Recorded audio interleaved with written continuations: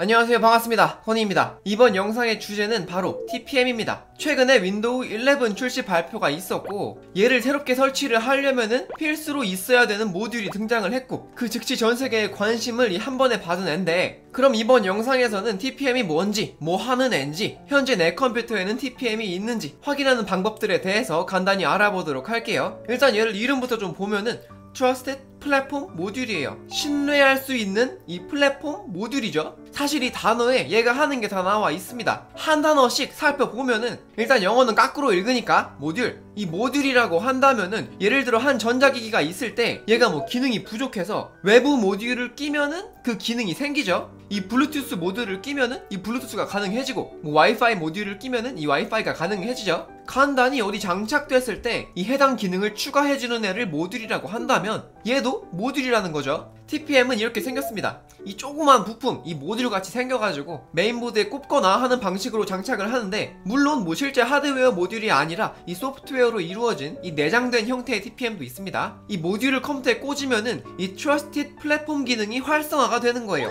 신뢰할 수 있는 플랫폼이 하나 생긴다는 거죠. 내가 아주 아주 신뢰할 수 있는 공간, 이 나만의 home sweet home이 이 필요하다는 얘긴데, 근데 이 뜻은 여태 컴퓨터 안에 있던 이 저장 공간은 더 이상 뭐 신뢰하기 어렵다.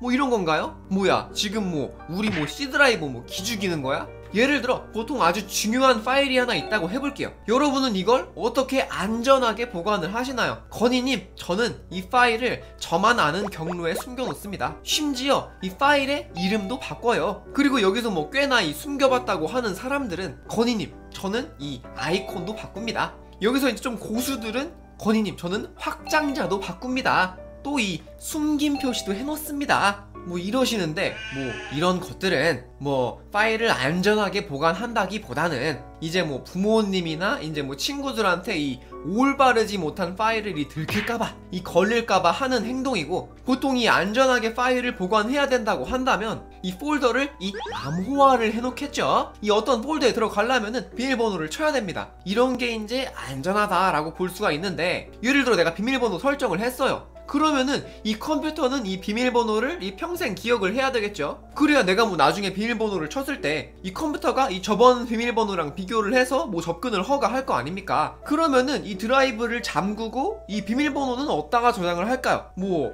저장 공간이 뭐 어디 있겠습니까? 당연히 뭐 하드 아니면 뭐 SSD에 저장이 되겠죠. 어?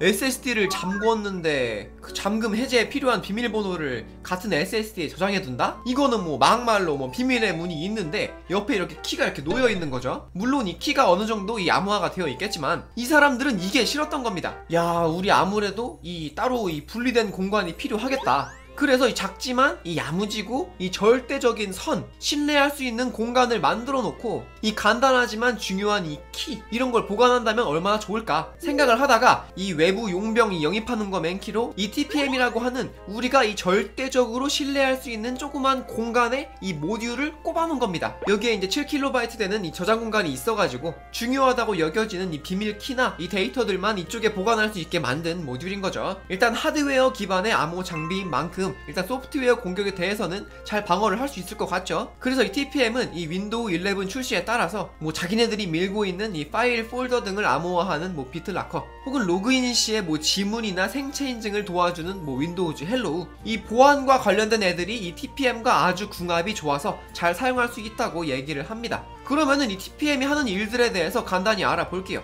얘가 하는 일은 뭐 얘가 뭐 주도적으로 뭐 CPU에 개입을 해가지고 뭘 한다기보다는 추가적인 하드웨어 기반의 이 공간, 이 관련된 동작들을 이 만들어 놓은 게 더 의미가 있어 보이는데 이 그림이 이제 TPM의 내부 구조를 보여주는 그림인데 일단 기본적으로 맨 왼쪽에 이 IO가 보이시죠? 이 컴퓨터 상에서 가장 중요한 입출력입니다. 이 TPM에게 오는 모든 메시지가 이 오고 가는 정문입니다. 근데 뭐 일반적인 IO 버스가 아니라 이 시큐어드라고 하죠? 이 기본적으로 이 암호화된 메시지가 도착을 하면은 얘를 뭐 해독하고 내부적으로 뭐 실행하고 또 메시지를 밖으로 내보낼 때 이 암호화해서 내보내는 이 정문입니다. 그리고 여기 중요한 부위들이 있는데 뭐 암호화 동작들 그리고 여기 뭐 저장 공간 두 개 있죠. 일단 TPM에 어떤 이 귀중한 것들이 저장이 되어 있나 보면은 endorsement key와 이 storage root key가 있어요. 일단 이 EK는 이 TPM만의 고유 인증 키예요. 얘가 이제 공장에서 제조가 되면서 이 키가 고정되어서 나온다고 합니다. 그리고 이 SRK는 이름에서 보듯이 뭐 하드나 뭐 SSD를 암호화했을 때 그 비밀번호가 여기 들어가는데 이 EK가 공장에서 찍혀 나온다면은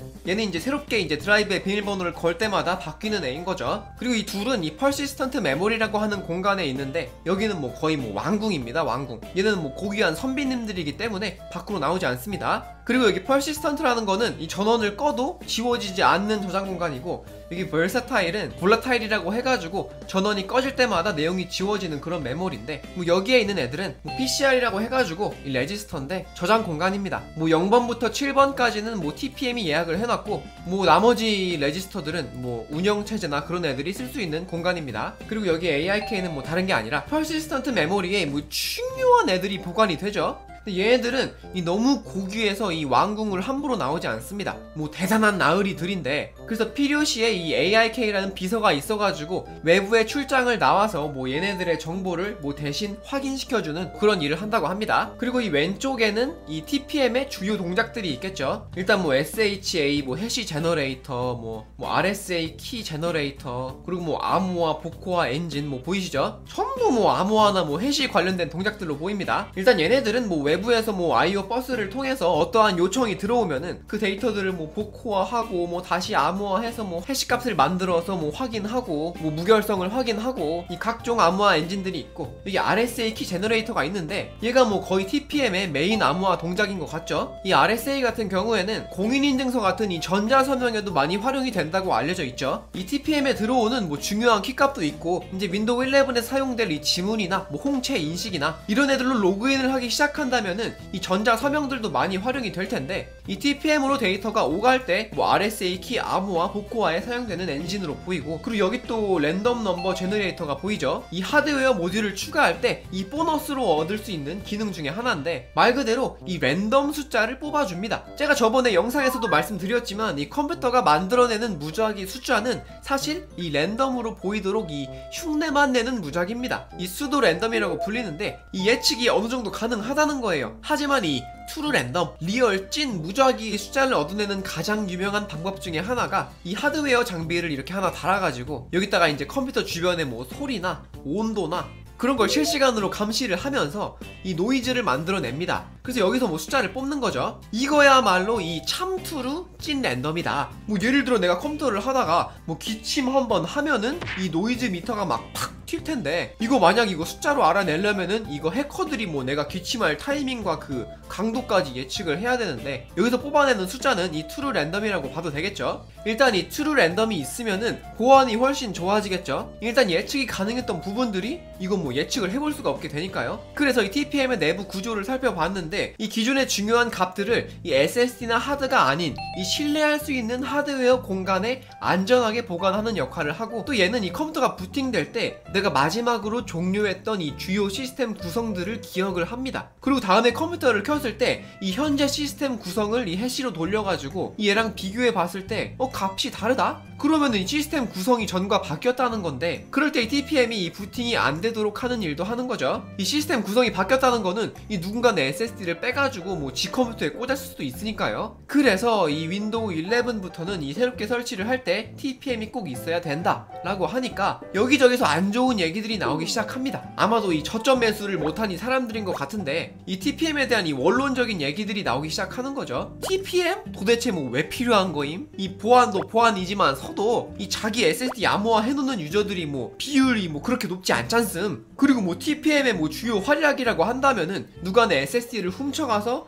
자기 컴퓨터에서 열어보려고 할 때 그걸 막아준다는 건데 막말로 요즘 세상에 대체 누가 우리 집 와서 SSD를 빼서 훔쳐감? 만약 컴퓨터까지 가져가면 뭐 소용없잖음. 뭐 이런 TPM에 대한 여러 이야기들이 쏟아졌는데 과연 마소는 왜 이 타이밍에 TPM을 사용하도록 했을까? 이제 사람들로부터 여러 구체적인 의견들이 나오기 시작하는 거죠. 뭐 예를 들어 마소가 TPM을 강조한 거는 뭐 애플 때문이다. 애플은 이 몇 년 전부터 이미 뭐 T1, 뭐 T2 프로세서라는 이 보안 칩을 맥북 등에 탑재해서 판매하기 시작했어요. 이 칩도 뭐 부팅할 때 뭐 시스템 구성이 바뀌었는지 체크, SSD 암호화, 뭐 Touch ID 같은 주요 서명 보관 그런 뭐 TPM과 비슷한 일을 하는데 이 맥북 쓰는 사람들이 이 T2를 가져다가 뭐 우리는 너네랑 뭐 부팅부터 다르다 이러면서 막 자꾸 놀리고 하니까 뭐 윈도우 유저들은 뭐 애플은 뭐 보안이 뭐 이렇게 강력한 데 윈도우는 뭐 보안을 뭐 개똥으로 취급한다. 뭐 이런 얘기가 자꾸 나오니까 우리도 이 애플의 보안에 밀리지 않는다. 이런 자세로 이 일부러 이 보여주기 식으로 이걸 뭐 강제한 거 아니냐 라는 얘기도 많죠. 근데 뭐 예전부터 마이크로소프트는 이 TPM 모듈이 있긴 했었는데 뭐 거의 뭐 장비 취급 못 받았죠 뭐 특정 기능을 쓰는 사람들만 사용하는 건데 뭐 애플 T2와 비교했을 때 TPM은 얼마나 구린가? 뭐 이런 식으로 항상 두드려 맞아왔고 뭐 어디 뭐 활용되려고 하면은 이 TPM 칩셋에서 뭐 결함이 터져가지고 뭐 에스토니아 사람들 뭐 개인정보 단체로 털리고 해가지고 이미지가 안 좋았었는데 뭐 괜히 뭐 애플 때문에 그런 거 아니냐라는 얘기도 있고 혹은 또 솔솔 퍼지는 이야기가 혹시 마이크로소프트가 이거 뭐 설마 팔아먹으려고 그런 거 아니냐 라는 거죠. 이 작년에 이 마이크로소프트에 대한 기사 하나가 나왔습니다. 이건 윈도우 11 출시 한참 전이죠. 이 기사 내용은 마이크로소프트가 이 새로운 보안 칩을 만든다. 이 제품은 TPM을 대체할 것이다. 어? 그때 당시 사람들이 딱 이거 봤을 때 어떤 생각했겠어요? 어? TPM을 대체해? 내 알바 아님. 이때 당시 TPM이 뭔지 아는 사람도 많이 없었고 이렇게까지 중요한 부품이 될 거라 생각을 안 했기 때문에 뭐 그냥 넘어갔는데 이 기사를 사람들이 다시 살펴보게 된 거죠. 그러다가 이 기사에서 갑자기 플루톤이라는 장비를 하나 홍보를 합니다. 이 장비는 TPM의 진화 버전이다. 플루톤은 TPM보다 좋고 세고 빠르고 안정적이다 하면서 이 중요한 문장 하나가 나옵니다. Same API as TPM today. 이 플루톤에다가 이 TPM과 같은 API를 제공하겠다? 어? 이건 뭐 BitLocker와 이 Windows Hello 인증 서명을 미래에는 뭐 이러다가 뭐 플루톤으로 뭐 바꾸겠다? 어? 현재 TPM을 쓰는 사람들이 있다면은 이 플루톤으로 쉽게 뭐 업그레이드를 할 수 있게 하겠다? 뭐 이런 얘기를 하니까 사람들이 이 기사를 다시 찾아보게 된 거죠. 이거 설마 마소가 뭐 우리를 뭐 TPM에 익숙하게 한 다음에 뭐 더 좋은 플루톤으로 뭐 업그레이드를 하게 해서 뭔가 뭐 뒤로 뭐 짬짜미를 하겠다는 뭐 그런 그림 아니냐? 이런 의견도 있다는 거죠. 그래서 내가 윈도우 11을 새로이 설치를 하려면은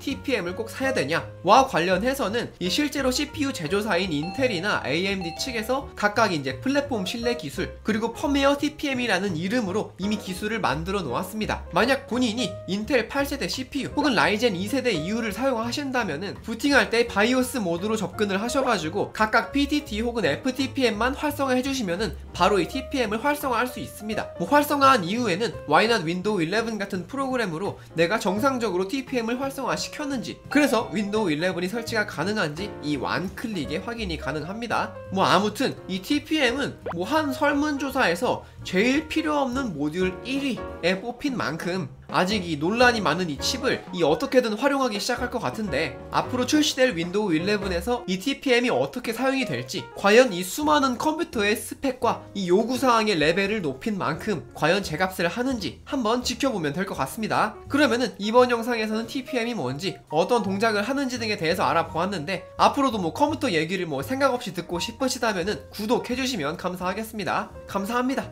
건이었습니다